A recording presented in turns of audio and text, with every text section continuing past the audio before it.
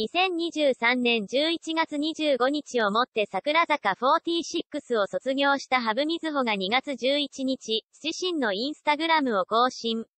美しいウエストを披露した。ハブみずほ、ビウエスト披露ハブは白のショート状のブラウスに、デニムパンツを合わせたカジュアルなコーディネートを披露。すらりとした足や、美しいウエストが際立つ一枚となっている。当投稿を見たファンからは、スタイル抜群、憧れ、かっこいい、笑顔も可愛い、100兆すぎる、といった声が寄せられている。